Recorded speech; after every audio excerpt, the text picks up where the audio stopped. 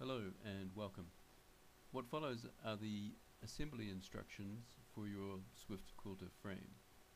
And when you've finished, your Swift Quilter should look something like this.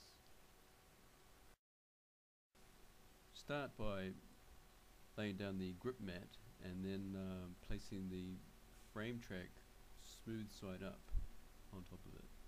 Um, and for best results you want a nice flat table you'll notice that one end of the frame track has two threaded inserts. This is where you attach the extension, so keep that in mind when you decide which end uh, to put that on. So now we want to attach the ends, so find the end labeled left hand and match that to the left hand sticker on the uh, track frame and screw them together with the two long screws provided and the 4 mil Allen key. Now, just a word about the, left hand and right hand ends. Uh, when the Swift Quilter was first made, there was only the rear handle, so this left and right as viewed from the rear. Um, and there's a lot of Swiftquilters out there labelled such, so it's easier just to maintain that. So repeat that for the right hand side and uh, do those screws up nice and tight and you should have something that looks a bit like this. Right, now we need to attach the quilt bar holders to each end. They um, attach to the inside of the uprights and the, using the um, tri-knobs.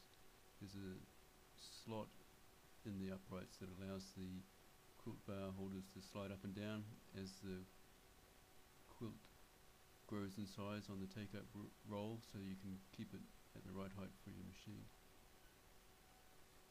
The quilt bar holder with the ratchet pulls goes on the left end. Now you can place the wheel trolley on the track and on top of the wheel trolley you put the machine base. The machine base has to be angled in because it's got a um, safety mechanism so that it can't roll right off the wheel trolley. So you just have to angle that um, safety lock in underneath the bar on the wheel trolley. Um, that should be facing towards the left end. Now attach the rear handles to the machine base. They're just held on by a couple of screws so get them nice and tight. And then you should have something that looks a bit like this, only um, without the quilt bars. We're going to put those quilt bars on after we put the machine on. It's easier that way. The Juki TL98 can now go on the machine base. Um, you need to position it so you get full movement uh, between the quilt bars. It's usually about 3 or 4 centimeters from the rear handles. And you'll notice that the, the Juki has two threaded inserts at the top on the right hand side um, or the back. This is where we're going to um, install the front handles. So line up the screws on the front handles with those threaded inserts and just do them up finger tight, that's all you need. There are two cables coming from the front handles. Um, the one with the smaller connector plugs into the TL98, that's the thread trimmer.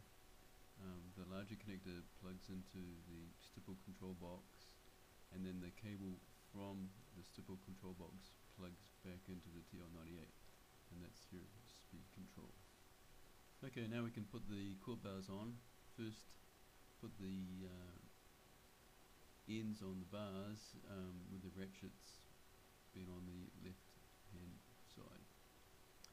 Um, take a good look at these photos and the manual to check that you've got the quilt bars uh, rotating the correct way. And that's it, you're done. Now you may actually uh, prefer to take the machine off when you load the quilt dep depending on the size of your quilt but um, now that you know how to do it it's easy enough to take off and on so have fun. Thanks for watching and I hope you found these instructions useful.